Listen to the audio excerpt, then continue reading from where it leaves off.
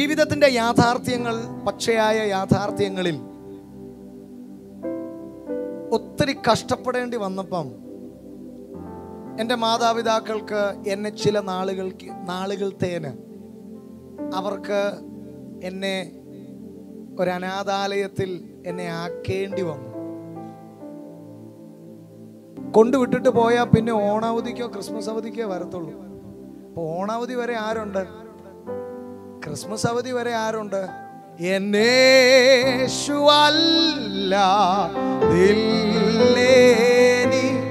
ോരാശ്രയം ഭൂവിൽ മറ്റാ